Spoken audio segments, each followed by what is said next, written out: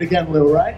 Big surprise. Ma- Let's give it time. Ladies and gentlemen, big round of applause for the lady we came here to honor tonight. Put your hands together.